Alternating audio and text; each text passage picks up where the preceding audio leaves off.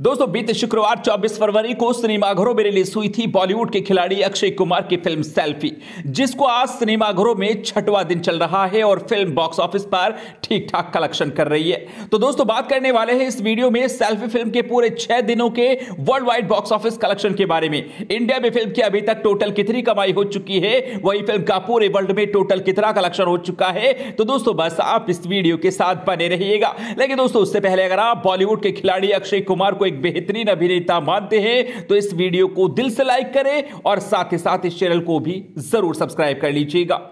दोस्तों, अगर बात करें फ़िल्म सेल्फी की तो सबसे पहले मैं आपको बताता चलूँ कि साल 2019 में रिलीज़ हुई थी मलयालम की फ़िल्म ड्राइविंग लाइसेंस, और उसी फ़िल्म का ऑफिशियल रीमेक थी अक्षय कुमार की फ़िल्म सेल्फी।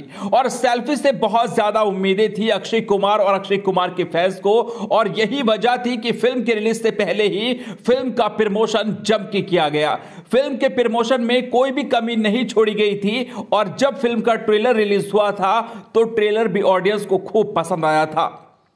उसके बाद, एक के बाद एक गाने फ़िल्म के रिलीज़ हुए। मैं खिलाड़ी, तू अनाड़ी, ने तो बड़े बड़े रिकॉर्ड बना दिए। लेकिन दोस्तों, यहाँ पे सबसे बड़ी बात, अक्षय कुमार सबसे बड़े सुपरस्टार, अक्षय कुमार इतने बड़े सुपरस्टार, लेकिन सेल्फी फ़िल्म ने जिस तरह से बॉक्स ऑफ़िस पर परफॉर्मेंस दिखाई है, वो बहुत ही निराशजनक है। आपकी जानकारी के लिए मैं आपको बताता चलूँ कि राज मेहता के डायरेक्शन में यह फ़िल्म बनी थी, जिसका बजट लगभग 80 करोड़ रुपए का था। तो वही फ़िल्म को पूरे इंडिया के अंदर लगभग 2500 स्क्रीनों पर रिलीज़ किया गया था, लेकिन फ़िल्म सेल्फी ने अपने पहले दिन सिर्फ़ दो करोड़ पचपन लाख रुपए की ओपनिंग की थी इंडिया से।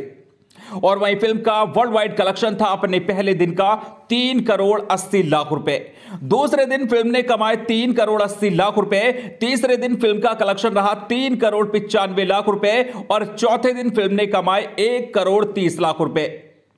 तो अपने पहले चार दिनों में फ़िल्म सेल्फी ने 11 करोड़ 60 लाख रुपए की कमाई इंडिया से कर ली थी। तो वहीं फ़िल्म का इंडिया में ग्रॉस कलेक्शन 13 करोड़ 70 लाख रुपए हो चुका था। ओवरसीज से भी फ़िल्म ने 3 करोड़ 30 लाख रुपए कमा लिए थे। तो वहीं फ़िल्म पूरे वर्ल्ड में 17 करोड़ रुपए की कमाई कर चुकी थी।